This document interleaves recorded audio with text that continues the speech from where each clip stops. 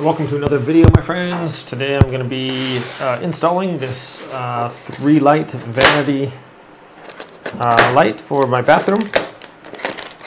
So, oops. See if I can open this up without getting styrofoam everywhere. Just one spot.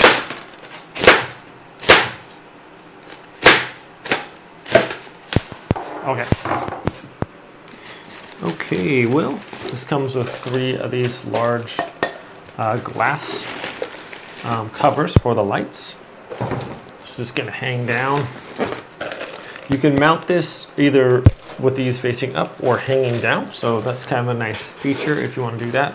We come with our little um, wire connections and these. So don't get, if you guys are installing a light for your first time, don't get overwhelmed. If I can do it, anyone can. These are fairly easy to do. And here is what it's gonna look like. So we can see, just screw those in there. I think our light's gonna go, these are gonna screw down, our light's gonna go on top there. Go ahead and get this installed real quick. It's gonna be nice, uh, simple and elegant as you can see. Um, we have going with like the black um, uh, features here on our light. So let's go ahead and get this installed real quick and show you guys how to do it.